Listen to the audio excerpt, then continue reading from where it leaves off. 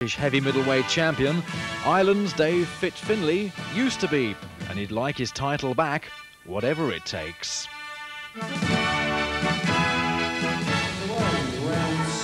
Round seven. Still no score, but it's really warming up now as Cullen loses his cool there for a bit. He's getting fed with the teeth with Paula. Finlay comes in behind him, quite legitimately in this case, because he should have been looking anyway. But not with a hair pull, says referee Barron.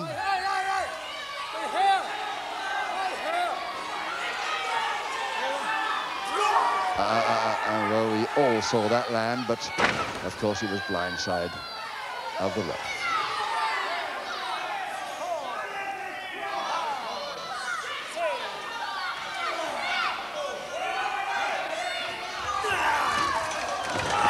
Nice backdrop again.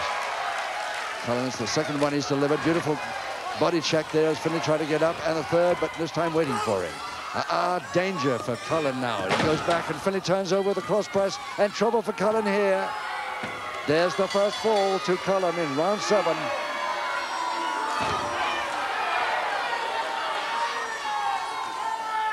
Just 55 seconds into that seventh round, and the first one to Ladies and gentlemen, the first fall in round seven to Dave Fit Finlay.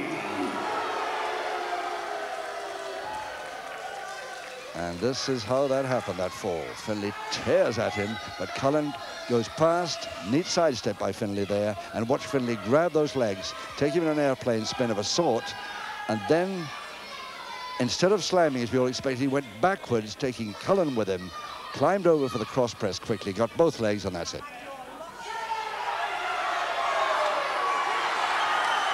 Seconds away, round eight.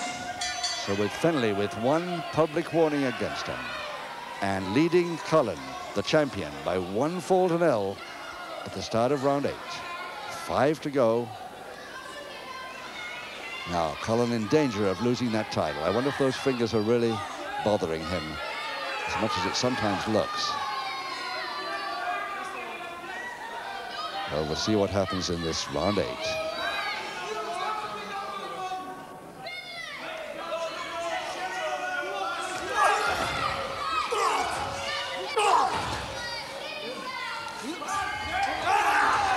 Oh, yes, and Cullen didn't come in, though. Cullen didn't go in, and it's going all the way down the, off the stage, under the floor.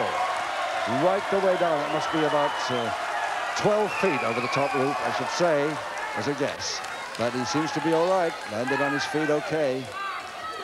And is helped in by Cullen. Cullen coming back with a body check, but Finlay holds him, and they both go out of the ring. And this time, they land on the apron of the stage here. And I don't think... Uh, no, no problem with either of them. They're both back, plenty of time. That is Cullen going in with a double leg grab, arm grab there. He goes underneath and a possible, very near pinfall there. Almost came off. Really was a possibility to equalize them. But it must have about two and a half seconds. That must have been instead of a count of three, which it has to be.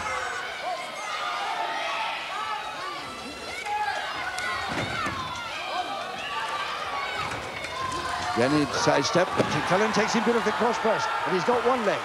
Can it be enough? He It is. There's the equalizer, round eight. Just one minute 45 seconds into round eight. The equalizer to Frank Chic Cullen. Ladies and gentlemen, in round eight, the equalizing fall to Frank Chic Cullen. So the champion gets one back, and he's back in the game. And this is how he did it. Finlay body checks him hard, goes for another one. Cullen goes over the top. Nicely held as he turns his man and watch that grab of the leg as he holds the cross press. No problem. Awful dangerous drop that. He goes all the way around from the, into the auditorium now. Takes his man with him if he can, off balance, but he can't. And a punch to Cullen's left eye there. And everybody the other side of the ring, they're demanding Finlay's disqualification.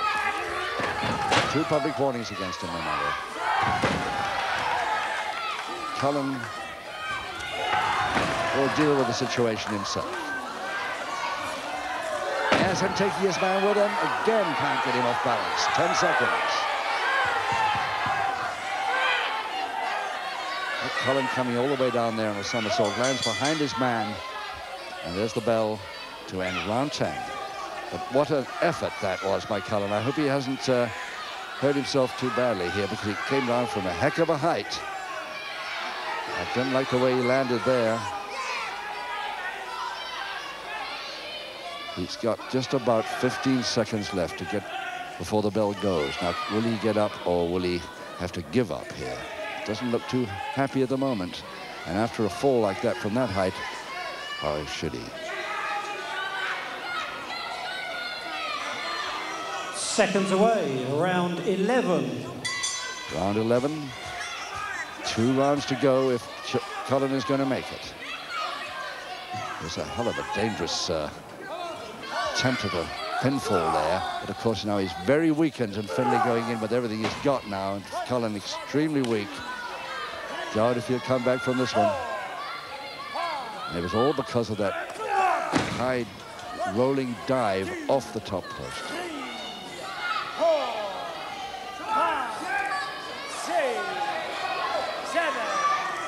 Yes, really slowed him up, that has. Crotch hold, slam, and Finlay going to produce a few weakness from the top himself now. No. He thought Cullen wasn't watching that, but he was. Rolled out of trouble, and Cullen laying it on a bit here. Here he comes back. Oh, oh. Another week there as Finlay's knee comes up to the chin.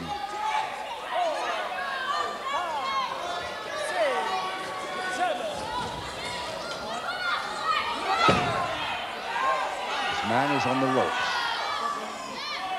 This referee far, far too lenient.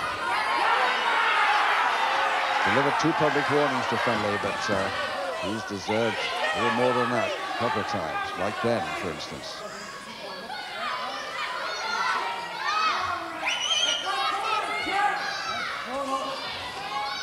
But knowing Cullen, he won't give him up. He won't give up, and this is absolutely necessary. Obviously isn't yet. But Finlay slowed him right down with these uh, back elbows in the corner.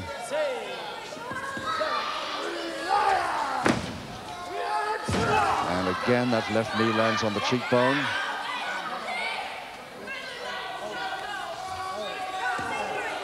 And the referee looking at that cheekbone very closely now. One minute, and I don't think the referee's going to allow him to continue. No, that's it. And Cullen doesn't want to stop, of course, but that cheekbones doesn't look too good to the referee at all, Bobby Barron at all, so he's not allowing it to continue. Cullen trying to persuade him otherwise. But no, it looks like he's lost his title on a technical knockout. Chic Cullen, unlucky.